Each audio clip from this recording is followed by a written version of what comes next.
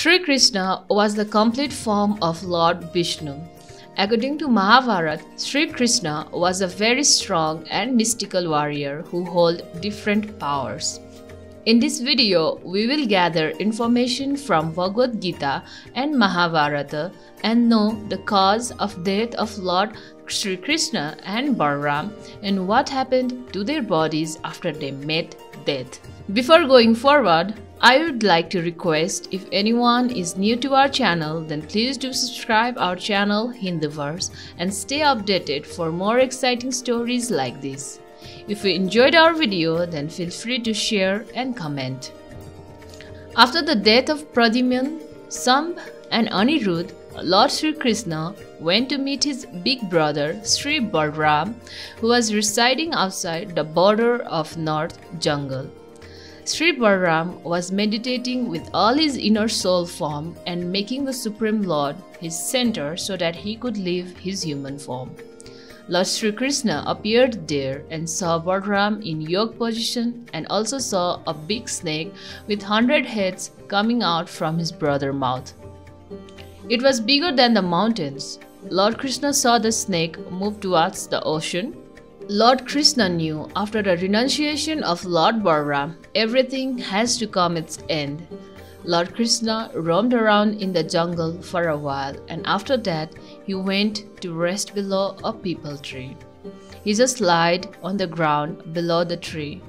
At that time, Lord Krishna had been taking his Chaturbhuj form and was enlightening all the four directions. At that time, the god was resting by keeping his left leg on his right thigh. The sole of his feet were as red as the bright colored blood. In that time, a hunter named Jara was roaming around the same forest. From a distance, he saw Lord Krishna's red foot as the mount of a deer, and believing it to be a deer, he shot an arrow. But when he came close, he saw that it was a very mystical Chaturbhuj man resting on the ground. The hunter was very scared of the crime he did by shooting an arrow to a living person and laid his head in the foot of Lord Krishna and begged for forgiveness. He said, oh Lord, I did a grave mistake for not knowing it was you who was resting here. Please forgive me for my mistake, or else kill me right now as a punishment. Seeing the hunter scared and begging for forgiveness, Lord Krishna said to the hunter, Oh Jare, don't be scared. This was meant to happen, and you did what I wanted. Go and reside in that heaven, which is a place for great pious souls. After that, the charioteer of Lord Krishna, whose name was Taruk, came there in search of his lord. Watching his lord's actions, the charioteer became emotional and tears began to flow through his eyes. He jumped from the chariot and went down the foot of Lord Krishna. In front of the charioteer Taruk, everything that belonged to Lord Krishna ascended up in the sky. Seeing everything that was happening there, Taruk was totally astonished and shocked.